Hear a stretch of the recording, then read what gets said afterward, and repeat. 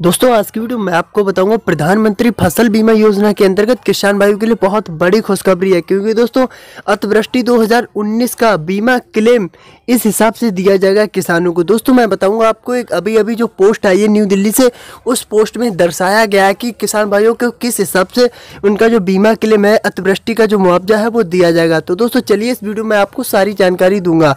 आपसे अनुरोध है दोस्तों, अगर आप हमारी वीडियो को पहली बार देख रहे हैं तो प्लीज़ चैनल को सब्सक्राइब करें और बेल आइकन को प्रेस कर दें। तो चलिए दोस्तों, आज की क्या पोस्ट आई है, क्या अपडेट आई है, उसके बारे में हम आपको बताएँगे। दोस्तों, देख पा रहे हैं, इस पर लिखा गया हुआ कैसे दिया जाएगा मुआवजा किसान भाइयों को। आप देख सकते हैं दोस्तों, फरवरी माह में ग्यारह जिलों में हुई अतिवृष्टि और दोस्तों, मार्च माह में तेईस जिलों में अतिवृष्टि हुई। इसी के साथ दोस्तों, अप्रैल माह में उन्नीस जिलों में भारी ओलावारी, अतिवृष्टि और आंधी के कारण हुई थी। फ़सलें खराब। दोस्तों रवि की जो रवि खरीफ की जो फ़सलें थी, वो खराब हुई हैं। इसी के साथ दोस्तों, मैं आपको बता दूँ, यहाँ पे लिखा हुआ, बर्बादी किसानों की इनपुट कृषि इनपुट अनुदान के फ़सल के लिए किसानों को छः हज़ार आठ सौ रुपये एवं सिंचित फ़सलों के लिए किसान भाइयों को तेरह हज़ार पाँच सौ रुपये एवं स्वस्थ फ़सल वाले किसान भाइयों को अट्ठारह हज़ार रुपये प्रति हेक्टेयर के हिसाब से पैसा दिया जाएगा। तो देख सकते हैं दोस्तों, कुछ किसानों को छः हज़ार आठ सौ और कुछ किसानों को तेरह हज़ार पाँच सौ और कुछ किसानों को अट्ठारह हज़ार रुपये दिया जाएगा।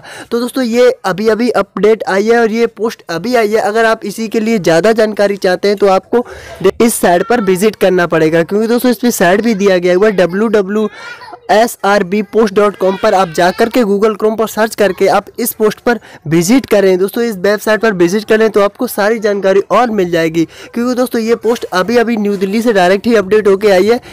दोस्तों, आप देख सकते हैं इस पर जो खरीफ 2019 का अतिवृष्टि बीमा क्लेम है, वो इस हिसाब से मिलेगा। दोस्तों, इससे रिलेटेड अगर आपको कोई क्वेश्चन पूछता है तो प्लीज़ कमेंट करके ज़रूर हमसे पूछिए, हम आपकी हेल्प करेंगे।